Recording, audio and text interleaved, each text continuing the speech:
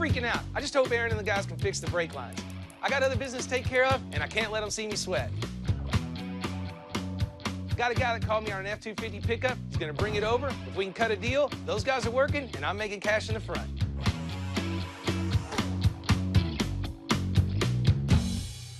Very cool. Good to see you, Joe. Yeah, how you doing, Uh, Richard? So you finally decided to part with it or what? Yeah, I, I really figured I couldn't do with it what I wanted to do with it. Why do you do anything with this? It's freaking cool.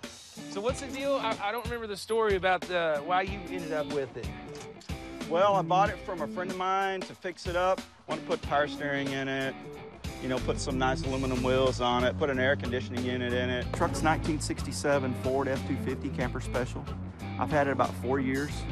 I did a little work on it and it's set for another year. So uh, after seeing it set, my wife really wanted to get it moved on and I've got other things I want to do and it's sort of just starting to get in the way.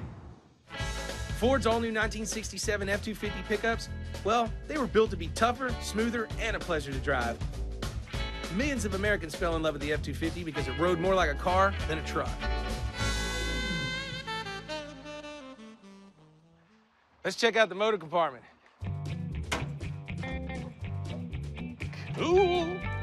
Just super stock and sanitary.